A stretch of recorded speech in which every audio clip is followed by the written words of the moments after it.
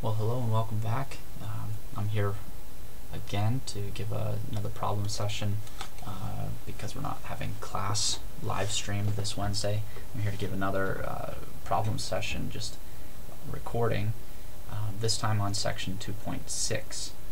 Uh, 2.6 is about transformations functions, so we'll be looking at uh, several different graphs, several different, uh, well, several different transformations and at the end I'm going to be doing sort of one of the harder problems in terms of determining if a function is odd or even. So we'll, we'll sort of build into it, and I hope it goes well. For me, I, I'm prone to making mistakes in recordings, so here we go. We'll get started. Section 2.6, transformations of functions. The first one just asks if you've got some function, f of x, and then you graph this, y equals f of x minus 5 plus 2, it, it asks you to describe the transformation that is occurring. So, first off, there, I see two different things happening to our function f. I see 2 has been added to it here, and I see that 5 has been subtracted from x there. So, first I'll start with that plus 2, which has been added to the entire function f. This plus 2 vertically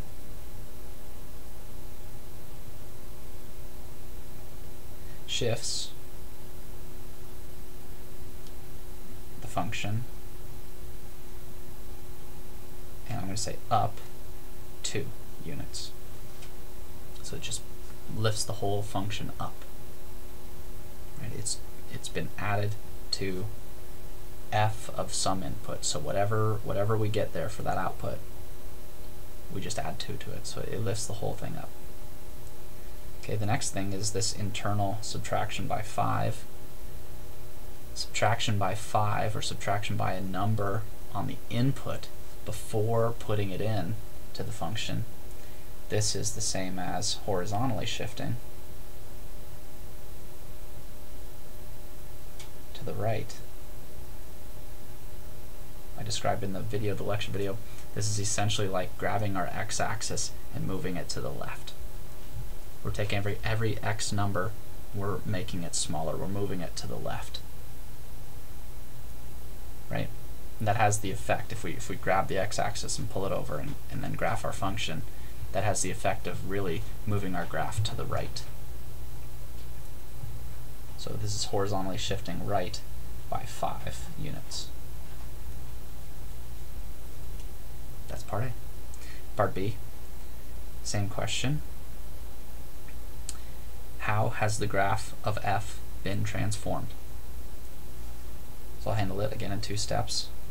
This minus 1, we're subtracting 1 from every single output. So you plug in an x, you add 1 to it, you plug that into f, you get some output. No matter what it is, you subtract 1 and you lower it down one value. So this vertically shifts.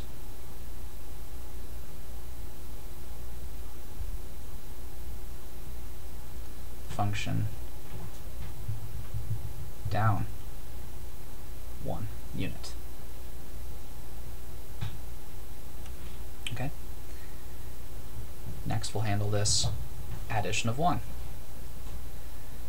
In the opposite way from the previous part, we're increasing the input by one. We're increasing it this time. So it's like we're taking that x-axis and we're actually pushing it to the right a little bit. You're moving the base first, and then you're building on top of it. And then you have to essentially shift it back. So this has the effect of horizontally shifting the whole thing left. We've moved the x-axis to the right one, so we're, we're actually graphing on the left now. By how much? It's by exactly the amount that is added, so by 1. Okay. Next problem is to uh, explain how g is a transformation of f. So f is the square is sorry is the absolute value of x and g of x is the absolute value of x plus 2 minus 2. So first I'm going to write g of x like this. I'm going to I'm going to say, well, it looks kind of like f of x. We've got absolute values of something. So let's write it like this. It's f of that something. Right, instead of plugging in x, we've plugged in x plus 2. That's fine.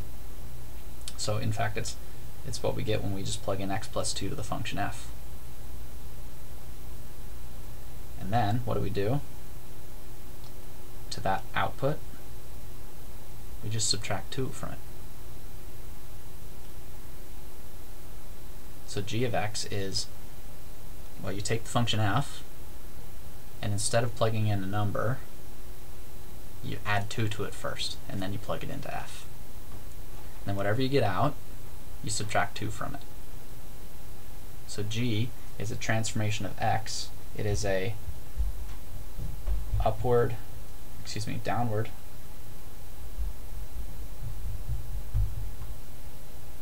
shift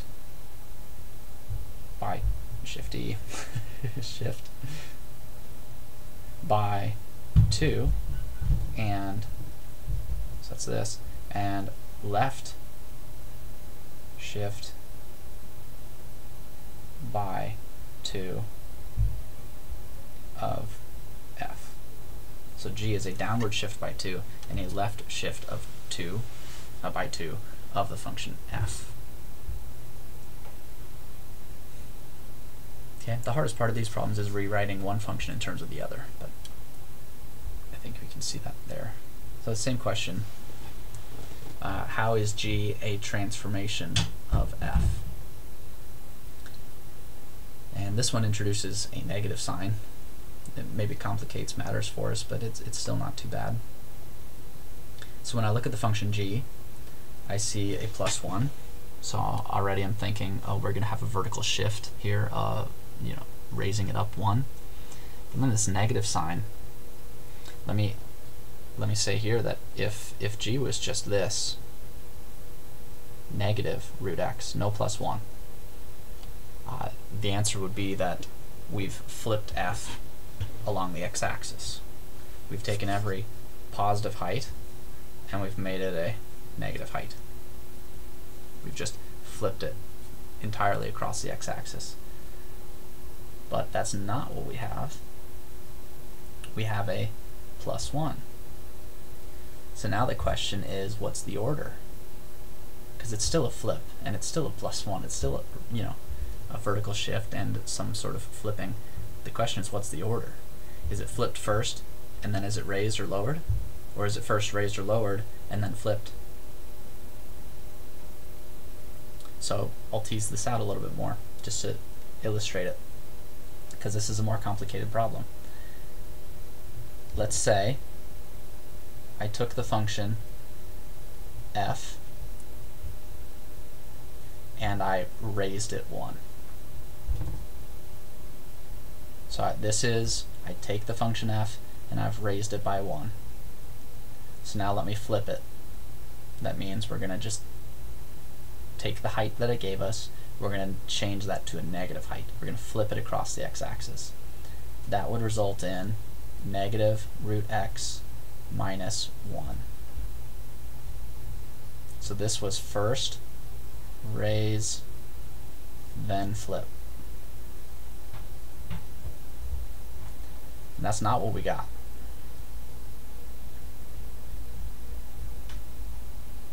Okay, so we don't have that ordering. So it must be the other ordering, right? Well, let's check. So if we first took f and we flipped it, right? So we that's it, negative root x. We take that output and then we raise it by 1. Well, that's that's no different than just writing it this way. We do get g. Hmm. So g is a reflection across the x-axis. Raised, then, uh, so maybe right here, then raised by 1, uh, reflection of x, of, of f, sorry, across the x-axis, then raised by 1. That's the transformations that took place to accomplish d. You, you take the function f, you flip it across the x-axis, and then you raise the result by 1. Okay, Not as easy of a problem. There's, there's some order involved in these reflections. There's some order involved in these raisings and shiftings left and right. So that's question two, uh, 22. Next one, question 51, is uh, to graph this thing. so we're going to graph it. And it does look mean, it does look nasty, I entirely agree with you. But it's really not going to take us that long. So we all know our our square root function, I hope. Um,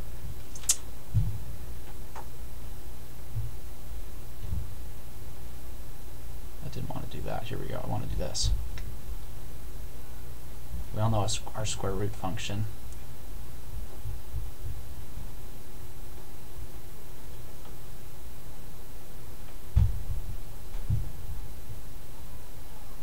And how to graph it. So, one, two, three, four, one, two, three, four. I'm trying to be as accurate as possible here because this will maybe help with your understanding. So, square root function, um, right? When you plug in 0, you get 0. When you plug in 1, you get 1. When you plug in 4, you get 2. So it's this slowly, slowly growing function that sort of like bends like that. This is the square root of x. Um, that's not what we're graphing here, but this is the parent function.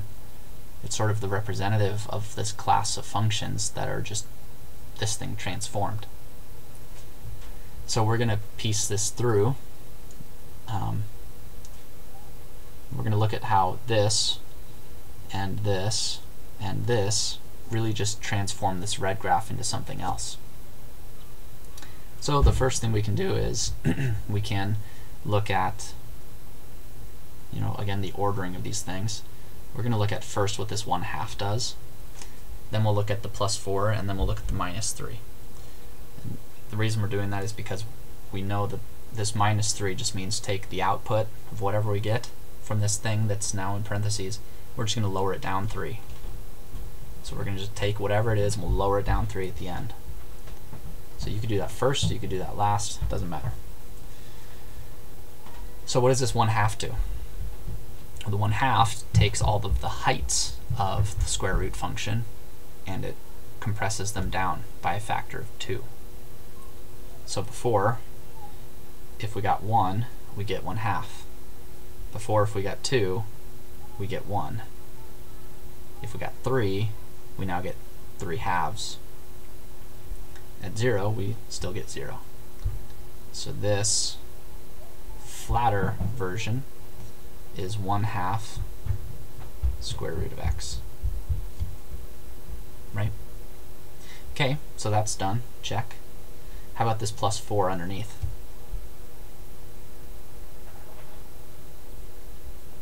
Well, that essentially moves our x-axis to the right, which means we've moved our entire graph to the left right? We, we take the x-axis and the y-axis with it and we move it to the right four units and we keep the graphs in place. and now what we see is this whole thing is just over here. I should have done that in a different color. Let me retrace over it. In pink, we've just taken every point and we've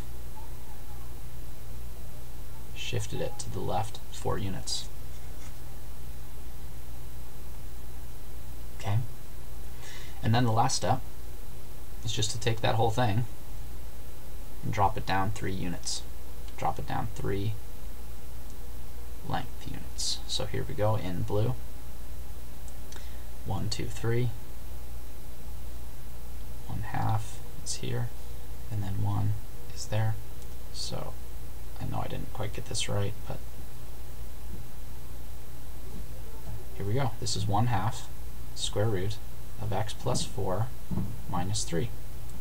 We shrunk it down by a factor of 1 half, and then we shifted it to the left 4 units, and then we shifted it down 3 units. So this is minus 3, this was the plus 4, and this was the times 1 half. Okay, all those things together give you this final result. And so did I need to make a table of points? No.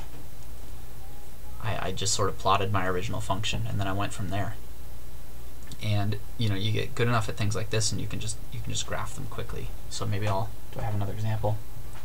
I don't. I'll do one at the end, but I'll, I'll pull another one out of the book here and I'll just graph it real quickly without showing every possible even step and I'll just explain it as I go through it. So these next two questions, this first one's rather easy, the next one's not so easy. Um, we're, we're asking if these question if these functions are even or odd. Um, so we need to just algebraically, we could graphically do this too, but algebraically we're going to look at these and see um, if when we plug in negative x, do we get either plus f of x, in which case we say it's even, or do we get minus f, or f of x, in which case we say it's odd, or do we get neither, in which case we say neither. So that's that's the strategy for these kinds of problems. We plug in negative x, we simplify, and we see what we have. So here we go. f of negative x, what is that? It's negative x to the fourth minus 4 negative x squared. Well, this this is an even power. This is an even power. So we get negative 1s multiplied together an even number of times, which gives us positive results. So this is positive x to the fourth minus 4 times positive x to the second,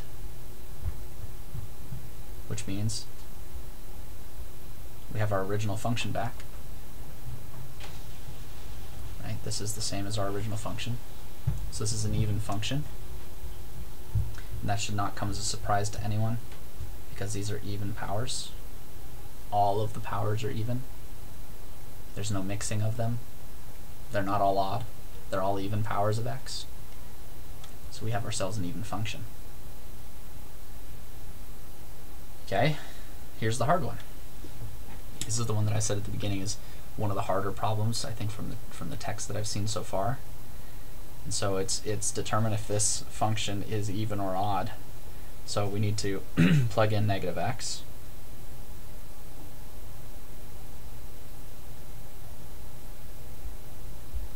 Now the question is how do you simplify that? Maybe somewhere, you know, in, in your mind you've got tucked away that under odd roots you can pull out signs.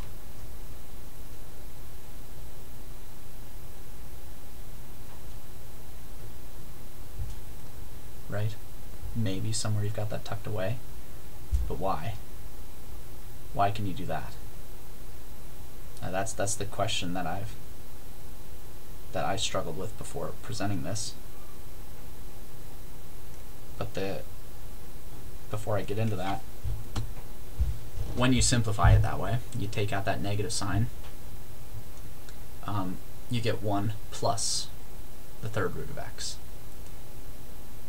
So there's no negative sign on that 1 now, right?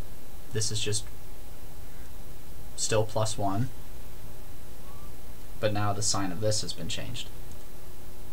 The sign of everything hasn't been changed, just the sign of that one term.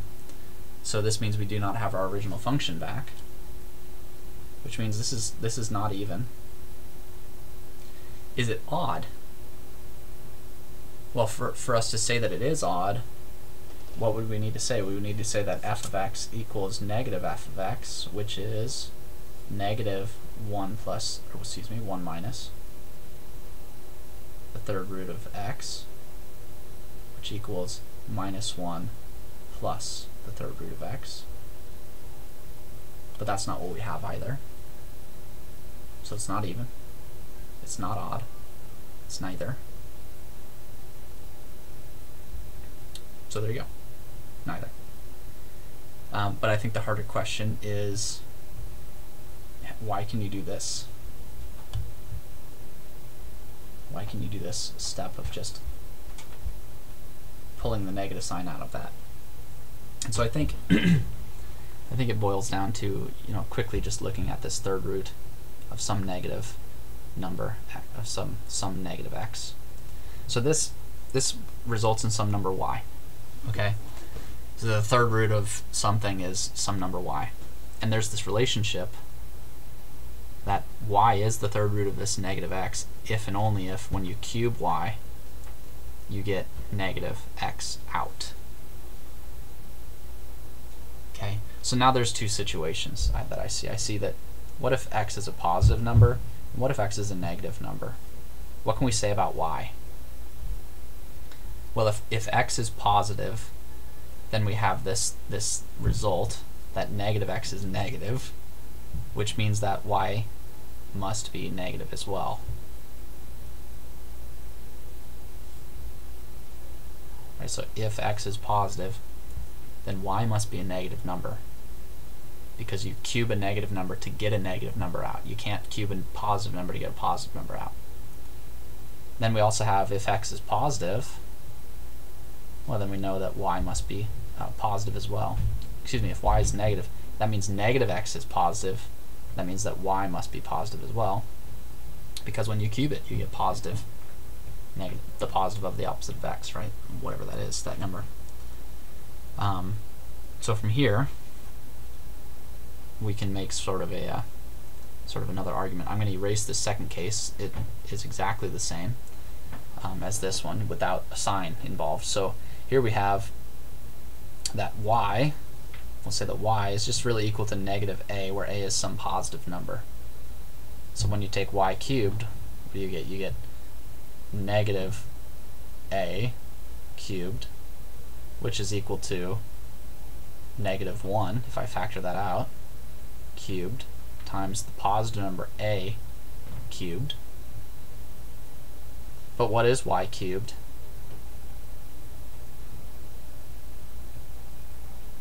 y cubed is equal to negative x, right? That's how we defined it up here. If, if, if y is the cube root of negative x, then y cubed has to equal negative x. So this, this gives us this result, that negative x equals negative 1 cubed a cubed. Let's divide by this negative 1. Then we get x is equal to negative 1 squared, which is 1 times a cubed. Well, what is a cubed? Right? We can we can sort of now work our way back. a cubed is the opposite of y cubed. And we can piece it right back together. Okay, so that's where everything comes right back to the very beginning.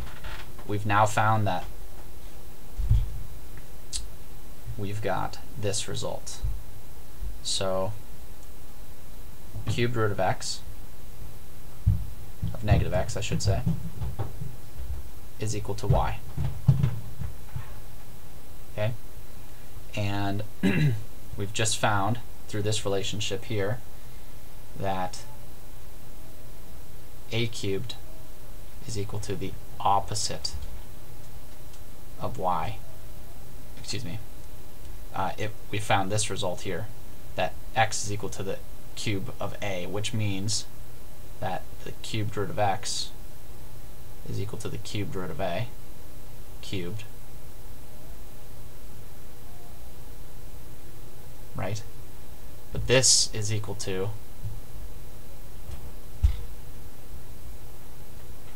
Okay, so I'm just rewriting this line here. Cubed root of x from this last line that we found from before is equal to the cubed root of a cubed, which is just what? That's just a. But what is A? A is the opposite of Y.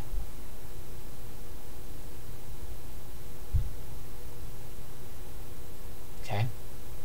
And here we see that now Y, if we just flip the sign over, the negative cubed root of x is equal to y.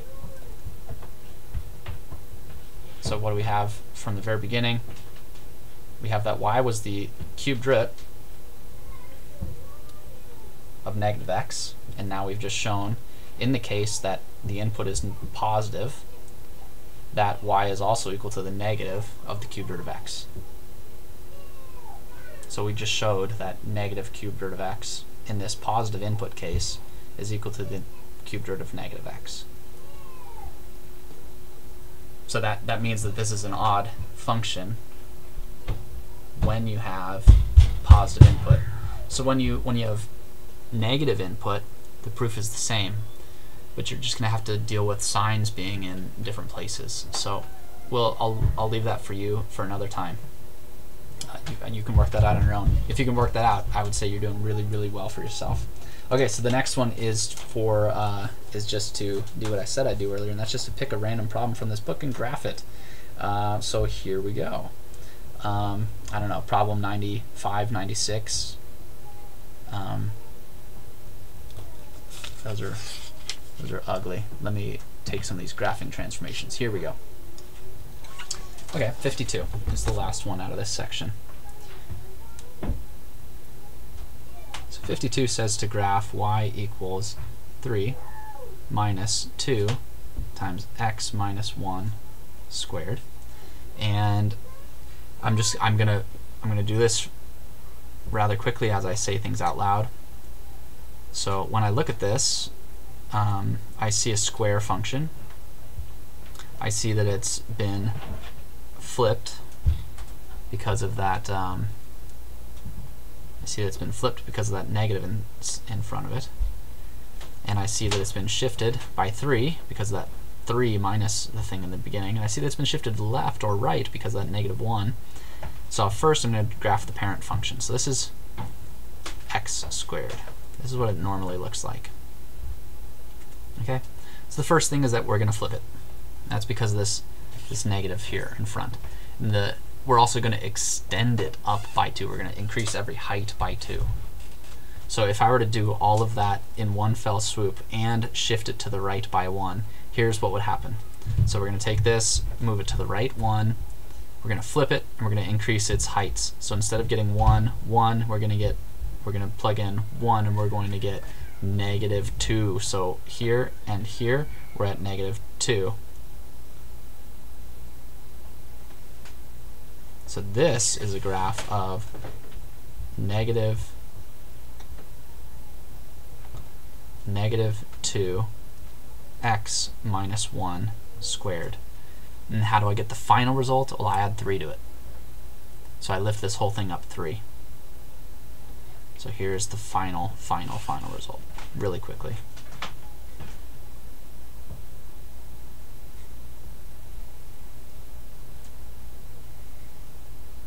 There we go. It's negative 2 times x minus 1 squared plus 3. I'm going to write the 3 at the end because I can, because you can commute like that if you like. So that's it. Right, it makes graphing these things so quick and easy. All you have to know is the parent function, and you know how you have to know how these transformations affect the, the original graph. Um, it can be really that fast. So it just takes a little bit of practice and a little bit of a little bit of memorization of these basic uh, transformations and the parent functions, really knowledge of parent functions. Absolute values, squares, square roots, cube roots, things like this. They're good to know. So with that, we're done with section 2.6, and I'll have another video here on 2.7 shortly. So I hope that helped, and uh, I'll see you for the next one. Until then.